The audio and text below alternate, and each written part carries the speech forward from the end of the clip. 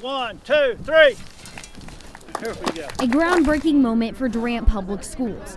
Wednesday marks the start of building a new elementary school. This is the first elementary school that's been built from the ground up in 52 years in Durant, so it's an exciting time. The new George Washington Elementary will sit next to the high school on Gerlach Street, measuring more than 96,000 square feet and will host 850 students.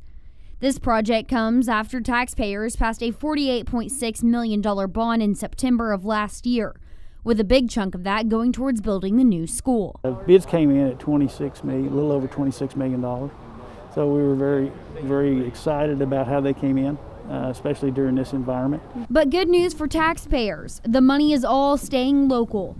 Mid Plains Construction in Bryan County was awarded the bid, a company whose roots run deep with the city of Durant and Durant Public Schools. Most of the time, um, you see these, especially bigger projects like this, going to, to some of the bigger companies, and maybe in Oklahoma City or Dallas, and and uh, I think it, mean, it certainly means a, a lot to us that they entrust us to, to build this project for them, and, and I think means a lot to, to all the local people that that uh, their their funds are, are staying at home. The school district had a study done to see how it will shape out over the next 10 years, and projections showed it needed another elementary to keep up with all the growth. And so we're going to try to stay ahead of that curve to see what, what the future holds so that we can stay prepared for our students and our, and our, our families here in Durant.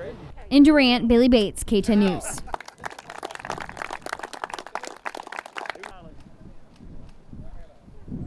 For Mrs. Joyce Northcutt and board member Mr. Brian Vaughn.